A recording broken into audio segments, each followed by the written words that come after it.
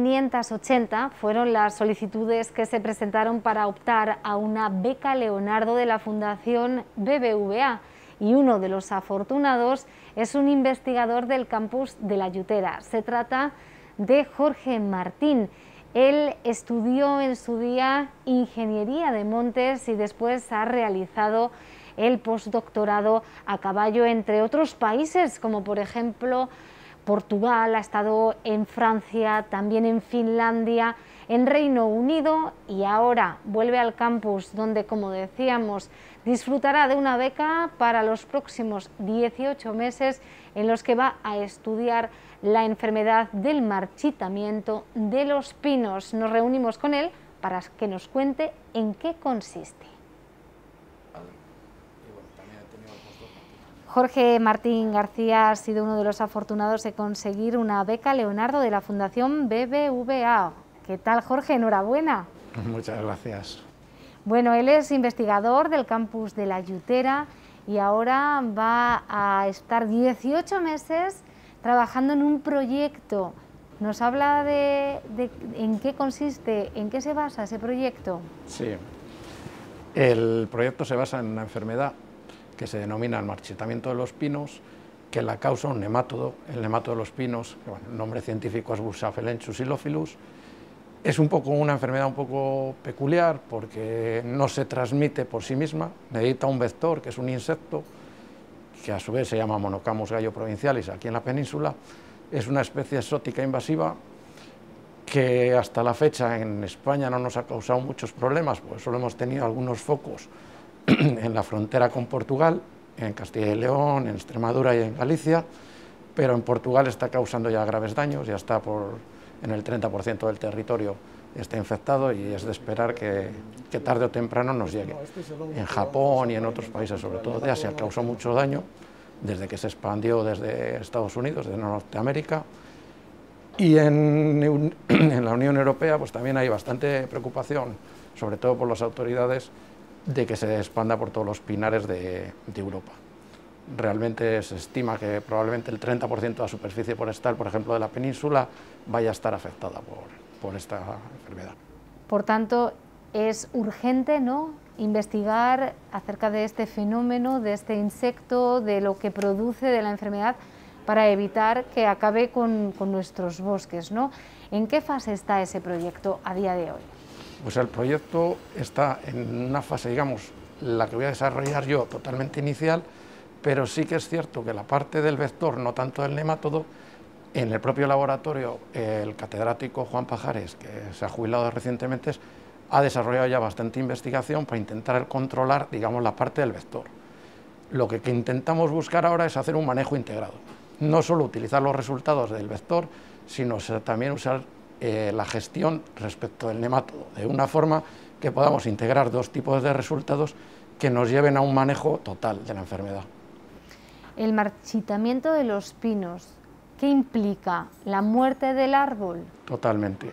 Empieza con un marchitamiento, como dice su propio nombre, y termina matando el pino. Mata pinos eh, totalmente maduros y de forma relativamente rápida. Se puede ver, puede ser más pelotina, pero en un mismo año, en, la propia, el propio año, la infección puede matar pinos totalmente maduros de 80 90 años sin ningún problema. Es, como decíamos, urgente actuar, puesto que mucha superficie de nuestra península está poblada ¿no? de pinos. Hay zonas de pinares muy importantes a nivel ecológico de nuestro ecosistema y también para la economía. Sí, esa es una de las claves. En teoría, la Unión Europea ha establecido que, el riesgo de los ataques puede, puede rondar en torno a los 22.000 millones de euros, que puede tener la consecuencia, de esa solo es económica. Pero no es solo económica, es la ecológica, por el 30% de toda nuestra superficie forestal está amenazada, y además está la parte social. Hay en muchas zonas, sobre todo en la España tan ahora tan denominada España vaciada, eh, se mantiene toda la economía sobre los recursos naturales que les pondrían entredicho. Además, ahora nos encontramos también en un factor clave, que es eh, cómo va a evolucionar la enfermedad, porque hasta ahora solo nos afectaba una serie de especies de pinos que estaban, digamos, en una zona más o menos cálida, entre comillas, pero hay muchas masas de pinos tanto aquí en la península, en Castilla y León, como fuera de la península, en el resto de Europa, que hasta ahora no han sido susceptibles a dicha enfermedad por un tema térmico, pero con el efecto del cambio climático se prevé que la dispersión de la enfermedad vaya subiendo, tanto en altitud como en latitud. Entonces la Unión Europea está realmente preocupada, es un patógeno de cuarentena de la lista de cuarentena de la EPO y hay una normativa de planes de contingencia europeos que tiene que desarrollar tanto digamos, los organismos nacionales, regionales, para su control y digamos, una vez que tengas un foco positivo, las medidas a establecer son, digamos que muy, para la sociedad probablemente muy dañinas. Por ejemplo, ahora ya se han relajado porque se han establecido otro tipo de medidas, pero inicialmente los primeros focos que se desarrollaron en España supusieron la corta de tres kilómetros de, radio de todos los, de todos los pinos que, que aparecían sobre un único árbol infectado. Afortunadamente contamos con investigadores como usted y afortunadamente usted cuenta con becas como la beca eh, Leonardo de la Fundación BBVA. Bueno, ¿cómo recibió la noticia de que va a contar con un dinero durante 18 meses para poder desarrollar este estudio que luego repercutirá en el bien de la sociedad?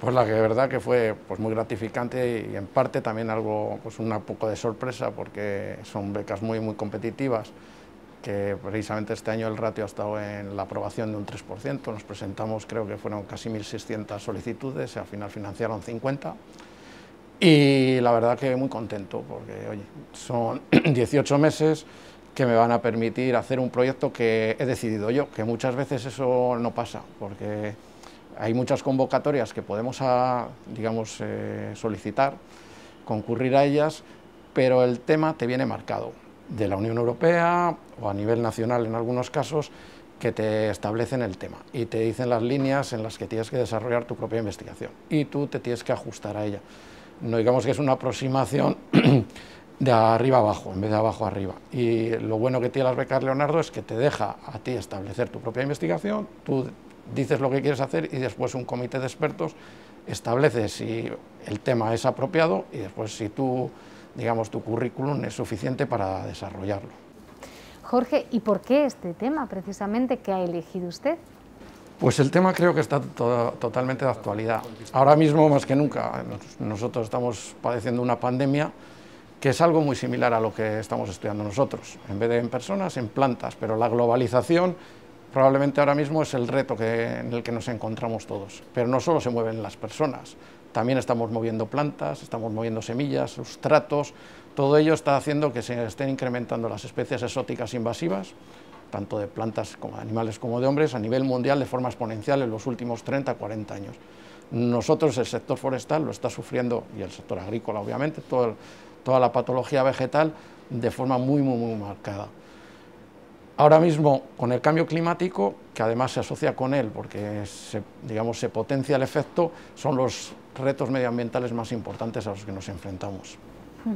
Sí, porque nos decía que este insecto, de un nombre un poco difícil para los que no somos expertos en la materia, es, eh, exótico, no, realmente, procede de otros lugares distintos que no sea la península ibérica, Europa. No, realmente el insecto, el insecto en sí no hace nada. El insecto solo, digamos que transmite la enfermedad. El insecto es, eh, es nativo de la península ibérica y no causa ningún daño.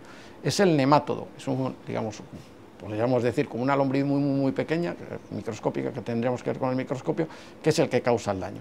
El insecto va al árbol, muerde el árbol para alimentarse y realmente lo que es la mordedura no le causa ningún daño, pero en ese momento inocula el nemátodo. Y el nemátodo, que es el exótico que viene de Norteamérica, es el que infecta y mata al árbol.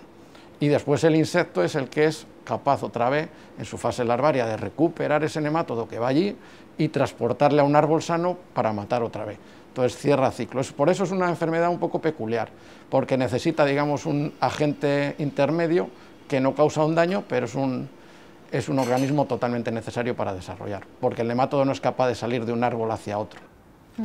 O sea, es el vector, por decirlo de alguna manera. Bueno, Jorge, por delante, como decíamos, muchos meses para investigar, muchas horas de laboratorio, también va a estar investigando fuera. Cuéntenos un poco cómo va a ser esa dinámica de trabajo. Bueno, la dinámica va a estar desarrollada entre aquí el Laboratorio de Patología y Entomología Forestal de, la SIA, de la escuela, y en colaboración también con el Centro de Sanidad de Calabazanos, de Sanidad Forestal de la Junta de Castilla y León, que se encuentra aquí bastante cerquita de la universidad. Tenemos una colaboración con ellos porque el nemátodo es un organismo de cuarentena que trabajamos con él allí en el centro de ellos, por un tema de seguridad biológica tenemos eh, colaboración con ellos y no hay ningún problema. Eso va a ser una de las partes, va a ser allí. Otra de las partes con la que voy a trabajar con el hongo entomopatógeno y, y nematófago, que son bauberias, unos de ellos testaremos alguno más, estella, alguno más, y sus compuestos secretores.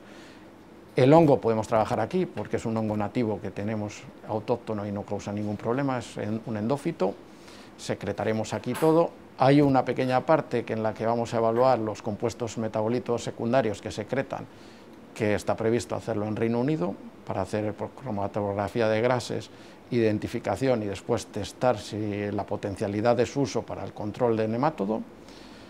Y después, en la fase final, todo eso va a ser in vitro. Y en la fase final vamos a intentar utilizar un, un patosistema modelo que llamamos, que es utilizar un nemátodo que es del mismo género, pero no es Xylophilus es un nemato, digamos, como un hermano similar, pero no causa ese daño, no es tan dañino y es nativo de la península.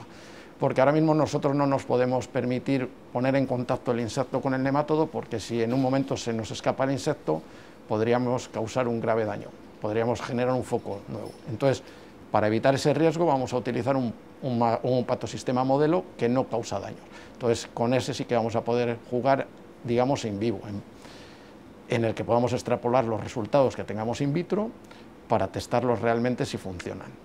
Bueno, pues son, como decíamos, muchas tareas por delante, ¿eh? muchas horas de investigación, de análisis, de conclusiones y para entonces, para las conclusiones, esperemos acompañarle otra vez. Enhorabuena, disfrute de estos meses de investigación y gracias por atendernos. Muchas gracias a vosotros.